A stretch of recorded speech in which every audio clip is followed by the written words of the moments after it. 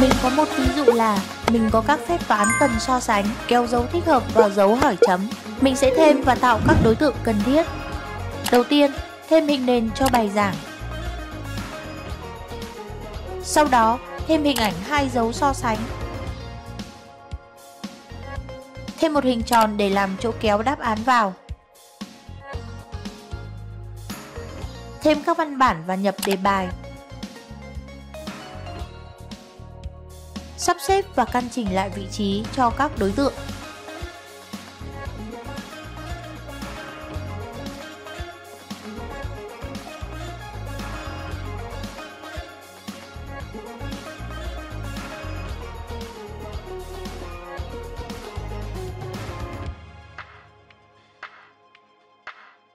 Thêm nút kiểm tra có 3 trạng thái. Trước tiên, đổi tên các đối tượng để dễ dàng chỉnh sửa. Ban đầu, các đối tượng không có hiệu ứng gì. Mình sẽ cài đặt tương tác kéo thẻ cho các dấu. Chọn vào dấu so sánh rồi mở bảng mở rộng. Lăn xuống rồi chọn tính năng có thể kéo thả.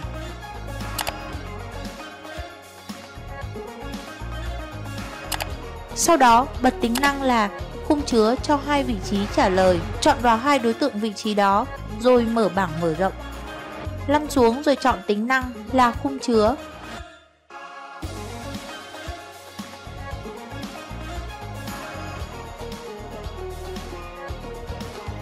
Sau đó vào bảng hoạt động. Thêm sự kiện khi đối tượng dấu so sánh bắt đầu kéo thả. Rồi mình thêm các hành động phát âm thanh hiệu ứng và thay đổi thứ tự đối tượng lên trên cùng.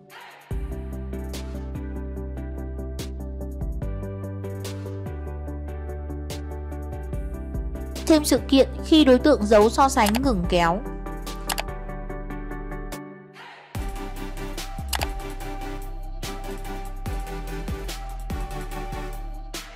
Thêm điều kiện nằm trong đối tượng vị trí 1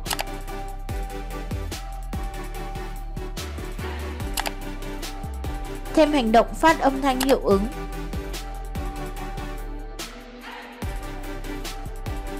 Nếu không, nếu nằm trong đối tượng vị trí 2 thì cũng phát âm thanh hiệu ứng. Nếu không nằm trong vị trí nào thì quay về vị trí ban đầu.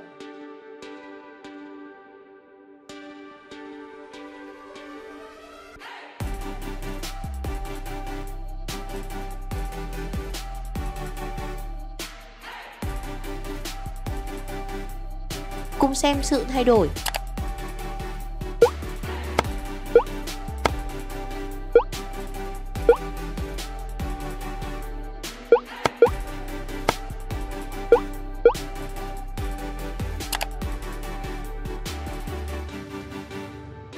Sẽ sử dụng hành động nhân bản đối tượng để tạo phong phú cho tương tác. Hành động nhân bản đối tượng là hành động sẽ tạo ra một đối tượng trên nội dung tương tác. Đối tượng này sẽ giống với đối tượng gốc ở tất cả các yếu tố như màu sắc, kích thước, các loại thuộc tính, vân vân. Đối tượng nhân bản này sẽ hiện ra ở vị trí ban đầu của đối tượng gốc. Tại sự kiện, khi đối tượng dấu so sánh ngừng kéo, ở trong mỗi điều kiện nằm trong vị trí, mình sẽ thêm hành động nhân bản đối tượng dấu so sánh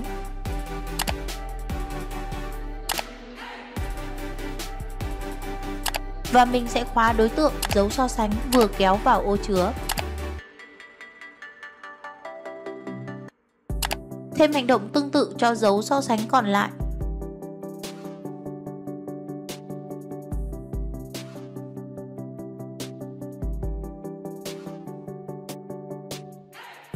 Sau khi thêm xong thì cùng xem thử. Với tương tác này, mình sẽ kiểm tra đúng sai như sau. Mình sẽ thêm thuộc tính tùy chỉnh cho các đối tượng dấu so sánh. Mình đặt tên thuộc tính này là TT. Đối với dấu lớn hơn sẽ có giá trị là 1 và dấu nhỏ hơn sẽ có giá trị là 2. Sau đó vào bảng hoạt động. Vào tab biến số. Mình sẽ thêm hai biến là A1 và A2 với cùng giá trị là 0. Rồi quay lại tab sự kiện. Tại sự kiện khi đối tượng dấu so sánh ngừng kéo trong điều kiện nằm trong đối tượng vị trí 1, ta thêm hành động thay đổi giá trị biến số đô la A1 bằng thuộc tính tùy chỉnh TT của đối tượng dấu so sánh.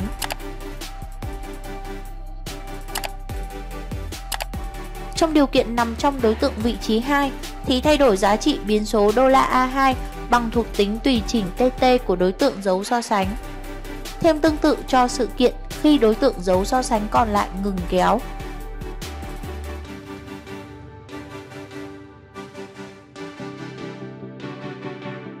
Thêm sự kiện khi ấn vào nút kiểm tra.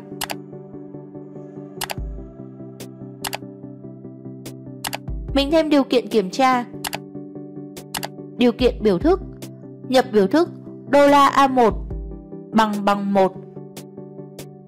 Rồi tiếp tục thêm điều kiện bổ sung nhập đô la A2 bằng bằng 1. Lúc này là trường hợp đúng, nên thêm phát âm thanh đúng. Thêm hành động đổi trạng thái nút kiểm tra sang màu xanh.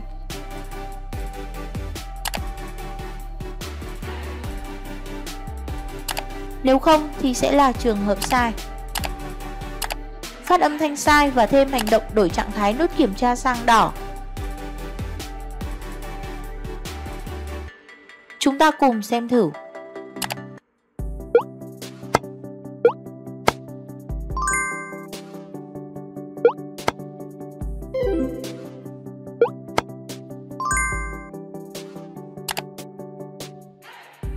Ngoài ra, khi sử dụng kết hợp nhân bản đối tượng này với vòng lặp biến và thuộc tính tùy chỉnh, chúng ta sẽ rút gọn được rất nhiều thao tác và trường hợp.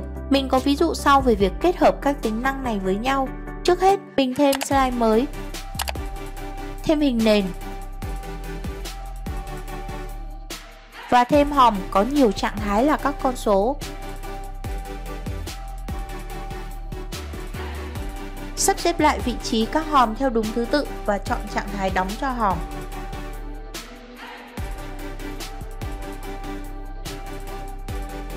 Thêm một hình khối để hiện câu hỏi. Chỉnh sửa kích thước và chữ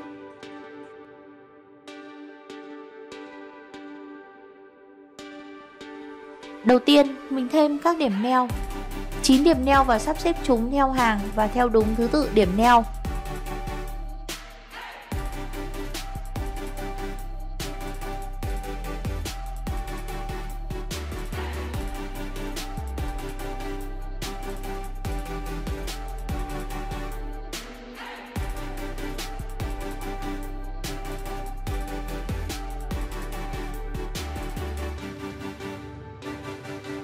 Sau đó, chọn vào đối tượng hòm, thêm hai thuộc tính tùy chỉnh là vị trí có giá trị là 0 và giá trị cũng có giá trị là 0. Chỉnh lại vị trí các điểm neo cho thẳng hàng. Sau đó vào bảng hoạt động, tab biến số. Thêm một biến số là NB. NB là viết tắt của nhân bản, có giá trị là 0 rồi quay lại tab sự kiện, thêm sự kiện khi slide tải lên.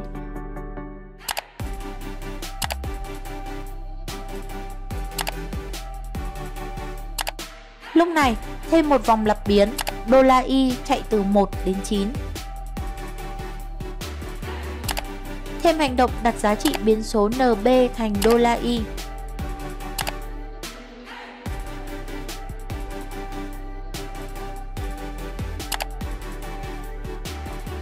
rồi thêm hành động nhân bản đối tượng hòm câu hỏi.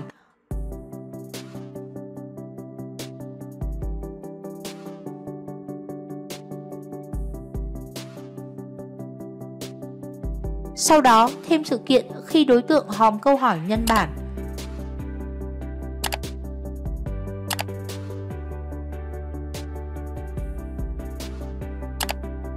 Ấn vào hòm và để hòm câu hỏi ẩn khi bắt đầu. Thêm hành động hiện ra cho hòm câu hỏi. Thêm hành động di chuyển vị trí hòm câu hỏi đến điểm neo thứ đô la NB trong 0,3 giây.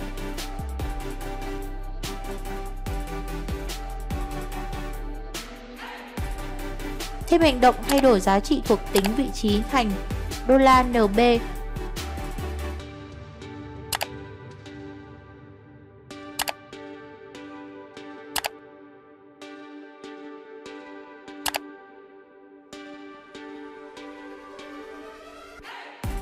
thuộc tính giá trị cũng thành đô la NB. Chúng ta cùng xem thử. Lúc này, các hòm nhân bản sẽ hiện ra ở các điểm neo. Là vì có vòng lặp từ 1 đến 9 nên sẽ có 9 lần nhân bản. Lần 1 nhân bản thì phiên bản nhân bản đó sẽ có thuộc tính giá trị và vị trí là 1 và di chuyển đến điểm neo 1. Tương tự cho các lần lặp tiếp. Tiếp theo, mình sẽ cài khi ấn vào các hòm thì sẽ hiện ra các câu hỏi tương ứng. Mình thêm sự kiện khi click vào hòm câu hỏi. Thì mình sẽ thêm hành động đổi trạng thái hòm câu hỏi đó theo thuộc tính tùy chỉnh của hòm câu hỏi đó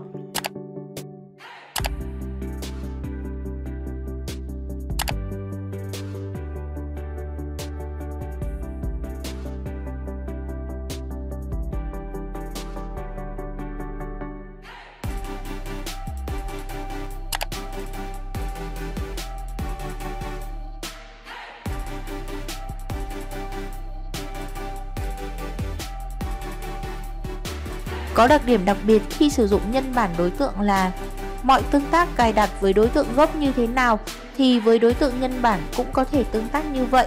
Tiếp tục vào tác biến số. Thêm 9 biến số có giá trị là các văn bản câu hỏi. Mình đặt tên là câu hỏi 1, câu hỏi 2, vân vân.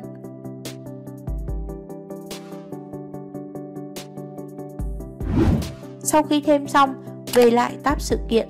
Để dễ dàng kiểm tra thì ta thêm biến quy có giá trị là 0 để lưu giá trị của đối tượng. Về lại tab sự kiện. Ở sự kiện khi click vào hòm câu hỏi, thêm hành động thay đổi giá trị biến số quy thành thuộc tính giá trị của hòm câu hỏi.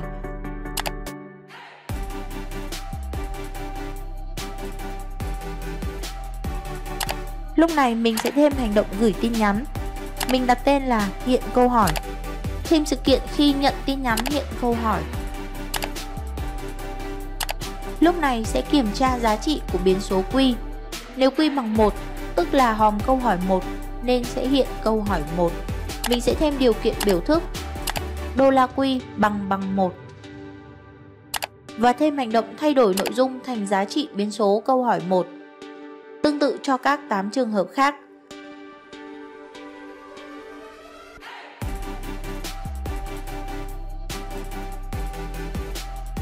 Khi thêm xong, chúng ta cùng xem thử.